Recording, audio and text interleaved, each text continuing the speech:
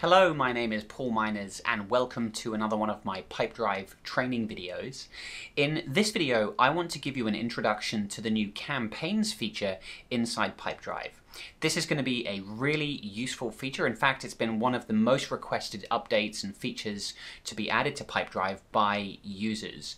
And what this feature is going to let you do is it's going to let you easily send newsletter and broadcast style emails to uh, large groups of contacts or subscribers in your Pipedrive database. So this is going to be really useful if you want to send, you know, weekly or monthly newsletters. This is a really useful way to keep leads warm and nurture them until that time that they're ready to become, you know, an actual buyer and move forward in your sales process. This is something I've worked with uh, with a number of one-on-one clients. A lot of people that have businesses and sales cycles that are, are quite long want to keep their leads warm and so this feature is going to be particularly useful. Using the new campaigns feature also means that you don't have to integrate Pipedrive with a third-party email provider. Up until now, you've had to use something like MailChimp or ActiveCampaign or ConvertKit like I do, and you had to connect Pipedrive with one of these third-party providers.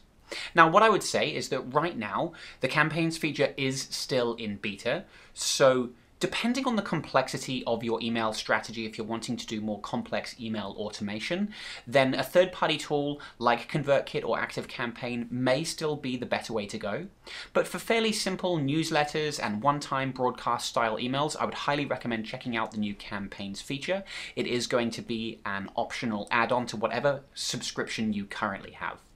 Talk briefly about pricing, now this is susceptible to change because this feature is still in beta, but like I said, it's going to be an optional add-on, and you can see some of the pricing tiers here. So Pipedrive is coming out with a tiered structure, so you really only pay for the number of subscribers that you have uh, in your account.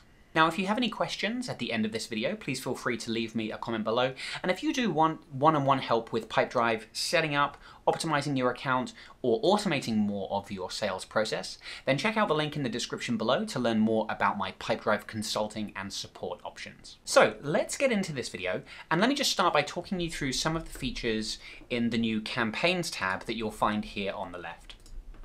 You'll actually be walked through some of the setup when you uh, first launch the new campaigns tab. Because I've already set this up, I'll just draw your attention to some of the features here. So when you set up the campaigns add-on, uh, as a one-time setup, you do need to input some company information like your company name and address. Uh, you'll see here this is needed for compliance um, purposes, uh, things like GDPR. So you just need to provide an address for your business. You also need to set up a sender. This is a person or an email address that is going to be used to send those broadcast or newsletter emails. So you'll set this up, you'll need to actually verify that address as well, but this is, this is just something you need to set up one time when you're getting started with this new feature. Now, once you've configured the basic settings, you can go along to templates and you can create templates which are a useful way of quickly creating a nice branded email with your company's colors, logos, graphics, things like that. So you can either start from a blank template or you can use one of these uh, templates as a starting point. So here's an example of a template. You can see uh, this is sort of very user-friendly and easy to use. I can click on any of these sections or blocks or bits of text or media, and I can change some of the styling options around that. So I can change things like the background color here if I want to use a slightly different color, maybe a bit like that. I can click on things like this image. If I want to link this image to a URL like my website, uh, I can click on text here, I can change the text, change alignment, spacing, colors, things like that. And if I uh, click out and go back to this content area, I can drag in new elements like a new block of text maybe up here at the top. So maybe I'll just put in some dummy text there and I'll make that maybe white. I could also drag in things like maybe I want a button here, so I can click on that button. I can set what I want this button to do if I want to link it to my website, something like that. I can change colors, spacing. Uh, it's very sort of easy and intuitive in terms of getting the email to look and feel the way you want it to. So just including my company colors, my logos, my branding. Uh, it's all pretty straightforward here. Now, before you actually create an email to send, you're going to have to subscribe some of your existing contacts and, and, change their marketing status. So once you have the campaigns feature set up, you'll notice this new marketing status column in your contact information. So let's go to a contact. I'm just going to go to Warwick Palm here. And you'll see here is that marketing, this new marketing status box in the details panel. And I've set Warwick to be subscribed. I can change this whenever I like if I want to unsubscribe him, or of course, the user here can unsubscribe themselves. If they receive an email, they can click that unsubscribe link at the bottom of the email, and that, that they can choose to unsubscribe themselves. But uh, when getting started, I can update my existing contacts and choose who I want to be subscribed to receive my campaign emails.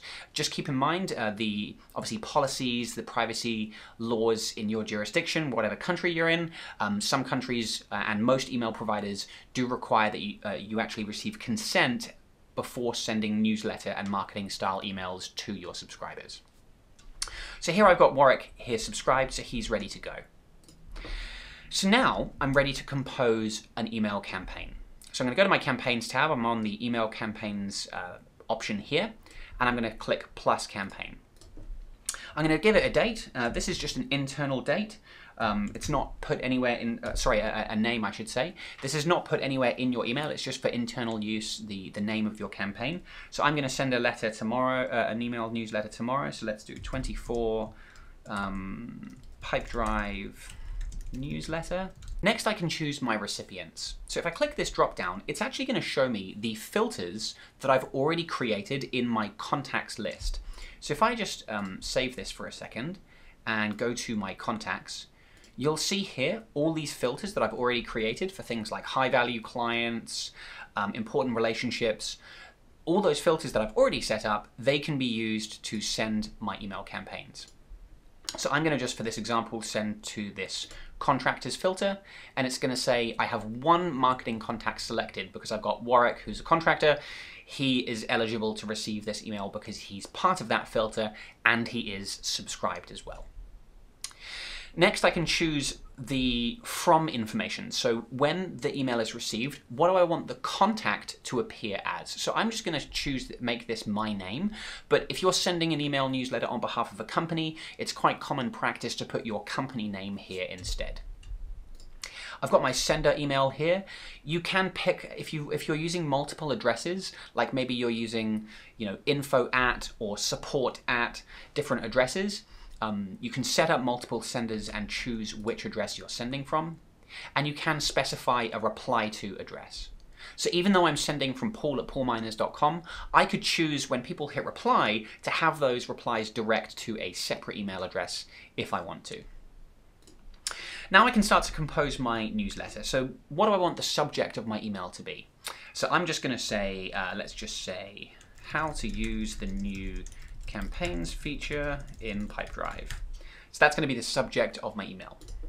And then the preview text, you don't have to fill this in, but this is basically the little bit of text that appears in the email preview. So usually on your phone or in your email client, it's going to show you the subject and then a few sentences of what's inside that email. So you can customize this and say, you know, exciting new feature you must check out. And now I'm ready to start uh, composing my email and I've got a couple of options here. Either I can use one of my templates that I created previously, I can create an HTML email if I want complete control and customization over the look and feel. I could build it from scratch using the HTML editor, or I could just start a new one using the drag and drop editor. Uh, I'm just going to choose the one of my templates, and I've got a plain text email here. I quite like just simple plain text emails um, because they just sort of appear more natural, and it's just kind of the style that I, I personally quite like. So I can um, you know, compose my email here, and you can see what I've done at the top is I've included a merge tag where I want someone's name to be inserted. So the email is still personalized with data that I have inside Pipedrive. So I could actually say, let's just remove that for a second. So how I insert this is over here. I have the merge tags option, and it's going to show the data that I can dynamically insert into my email. So I could say I want to use the person's full name or maybe just their first or last name. So let's just put in um, hi first name. And you could see down there there were some other options as well. I could reference the company as well. So I could say something like, um, you know, hope everything at, and then I could put in their company, person, organization, is going well. So I could do that just to include to make my email a little bit more personal and um, you know unique to the person that's receiving it. Using the um, drag and drop editor, I can drag in additional content like I showed you when composing a template. Uh, if I want to include maybe an image here, uh, let's put that there. I can include an image, I can include a button, um, so I can completely kind of build my email from scratch on this page. Let's uh, remove those for now. You will notice down the bottom here, the Pipedrive has included a footer with the default in information that needs to be included for sending an email broadcast. Things like the company name, address, there's an unsubscribe link in here as well. And so if you try to edit this, you can't, you can't edit it. This will just automatically fill in and populate with your actual information. So don't worry if that looks a bit funny right now. It's going to populate when the email is actually sent. A couple of other things you can do. Um, you can save this email as a template. If you've designed an email that looks really nice, you like the look and the feel and the style, could save that as a template for easily using again the next time. I think sending emails with a consistent brand is really important so that people come to recognize your emails and who's actually sending them.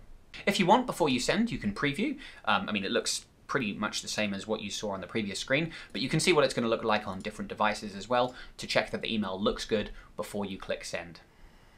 So let's go ahead and save that content. Before I send my email, I can choose to send a test here as well. So I could put in my email, paul at paulminors.com, and I'm just going to send a test to myself. And so this is just a nice step that I usually take uh, with when sending marketing emails to make sure that the actual email that gets received looks good in my email client and there's no um, obvious issues. It's also a good way of testing any links that you've included to make sure they work as well.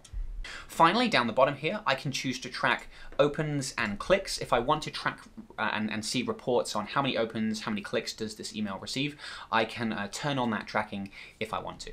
And then finally, once I'm ready to, uh, to send my email, I can go ahead and click send up here. It's going to just ask me to confirm, so I'm going to send that now. And there we go. I'm going to go back to my campaigns. This is in the process of sending, but very soon I'll be able to start reporting on the number of clicks and opens that this newsletter has received. So here we go, you can see now my email has finished sending. It's been delivered to one person and uh, that person's opened it, so I've got a 100% open rate, which looks great. And so there we go, that is a look at the new campaigns feature inside Pipedrive. Now, depending on when you're looking at this video, right now, as, as of the time of recording, this feature is still in beta, uh, and so it's you know very likely to change and be improved on in the coming months. If you're watching this video, uh, you know, a couple of months or maybe even a couple of years from now, because I do leave my videos up for a while, um, it's likely that this feature has you know changed a little bit since then.